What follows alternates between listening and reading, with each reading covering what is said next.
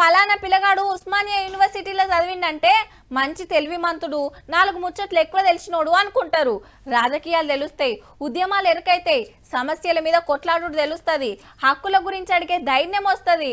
ఇక మన తెలంగాణ ఉస్మానియా యూనివర్సిటీలో చదివితే ఇంకింత ఎక్కువనే. ఇది ఇప్పటిదాకా. ఇక రేపు రేపు ఎట్లుంటదంటే? ఉస్మానియా యూనివర్సిటీలో ఉద్యమాలు బంద్ షూటింగ్లు సురువు కాబోతున్నాయి. అవు పెద్ద కాలేజీల ధర్నాలు దీక్షలు నిరసనలు బంద్ చేయాలని విద్యార్థి సంఘాల మీటింగ్లు ఆర్డర్ వేసిండట వీసీ. అట్లనే ఆమ్దాని కోసానికి ఓయిల సినిమా షూటింగ్లకు పర్మిషన్ ఇస్తారట. ఇంకా ఫైనల్ కాలే గానీ ఆఫీసర్ల మీటింగ్లో ఓకే చేస్తారట పక్క.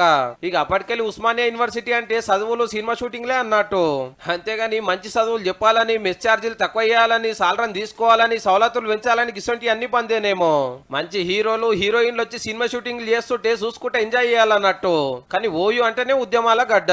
తెలంగాణ కొట్లాటల ముంగట నడిచిందే ఉస్మానియా యూనివర్సిటీ పోరాలు. లాఠీలకు తూటాలకు భయపడలే. నాలుగైదేళ్ళు టగాపరు కొట్లాడిర్రు. మీటింగ్లు ధూమ్ధామ్లు ర్యాలీలకు ముట్టడిలకు లెక్కే లేదు. ఆర్ట్స్ కాలేజ్కి వెళ్ళి ఎన్సీసీ గేట్ దాకా దినాం ఏదో ఒకటి ఉండేది గమ్మతేందంటే తెలంగాణ కోసానికి తెగించి కొట్లాన్ని అదే ఓయులా ఇలా పోరాటాలు బందట.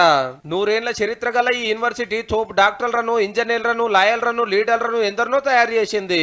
మన రాష్ట్రం మనకైనాక ఇంకింత గొప్ప ఉంటది అనుకుంటే సర్కార్ వాళ్ళు పైసలు ఇవ్వకుండా సినిమా షూటింగ్ల కిరాయిలకు ఇచ్చే కాడికి వచ్చింది కథ.